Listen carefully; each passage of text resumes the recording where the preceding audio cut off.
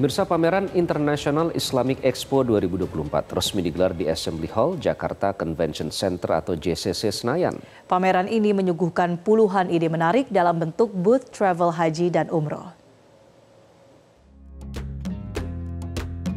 Pameran Islamic Expo terbesar di kawasan Asia Tenggara untuk kategori umroh haji dan wisata Islam ini berlangsung pada tanggal 26 hingga 28 Juli 2024 di Assembly Hall, Jakarta Convention Center atau JCC Senayan. Pameran International Islamic Expo 2024 menyuguhkan puluhan ide menarik dalam bentuk booth travel haji dan umroh. Dalam pelaksanaannya, event besar se-Asia Tenggara ini, Indonesia bekerja sama langsung dengan pemerintah Arab Saudi. Dalam opening ceremony, Wakil Menteri Agama Saiful Rahmat Dasuki menyampaikan harapan terhadap forum seperti ini agar dapat menyempurnakan pelaksanaan haji dan umroh ke depannya. Melalui event ini juga diharapkan akan menambah daya tarik tersendiri untuk ekosistem haji di masa mendatang ekosistem haji pun itu menjadi daya tarik yang tersendiri buat kita semua. Memang apa yang dikatakan Allah Subhanahu wa taala tadi tentang haji ternyata tidak hanya ibadah hajinya. Ekosistemnya pun menarik kita semua sehingga terselenggaranya International Islamic Expo ini adalah bagian dari sebuah perbaikan-perbaikan yang akan kita capai untuk ekosistem haji di kemudian hari.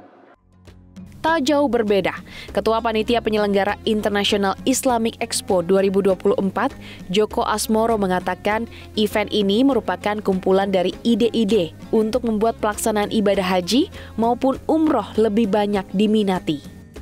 Terlebih lagi, event besar ini juga bekerja sama dengan pemerintah Arab Saudi yang akan selalu melakukan perbaikan jika terjadi suatu kendala.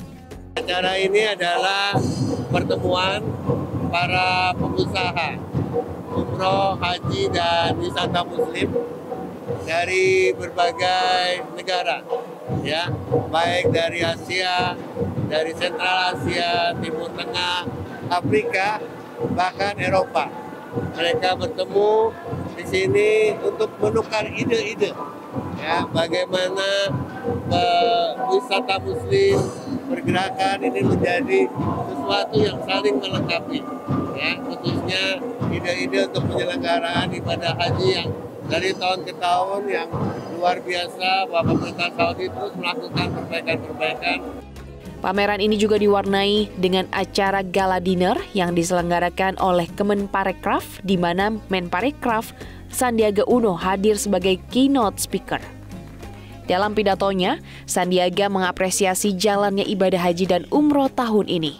Dirinya juga berkomitmen untuk terus meningkatkan kualitas perjalanan jamaah haji dan umroh Indonesia ke depannya.